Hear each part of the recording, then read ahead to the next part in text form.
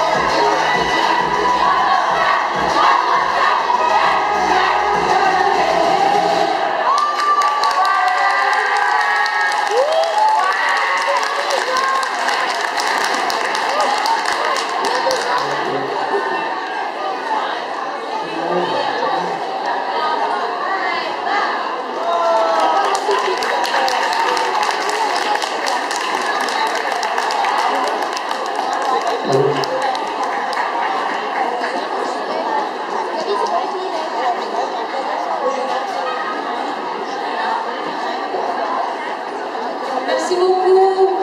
Super. Euh, par contre, est-ce que je peux vous piquer une personne Mon partenaire, mon guitariste. Uh, xin chào mọi người, đây xin giới thiệu mọi người là mọi người guitar cho em hồi nãy hát á. Bây giờ để uh, uh, hỏi vài câu hỏi các bạn Clement này nghĩ về gì về chúng ta về chương trình của chúng ta ha. Comment tu t'appelles Moi, je m'appelle Clément. Oui, je présenter déjà. Bon, bref. Euh, Dis-moi, tu fais Pourquoi tu es là avec nous? Qu'est-ce que tu fais dans ta vie? Tu présentes un peu de toi? Ok. Euh, ben, en fait, de mon côté, je fais des études euh, en anthropologie, donc l'étude des civilisations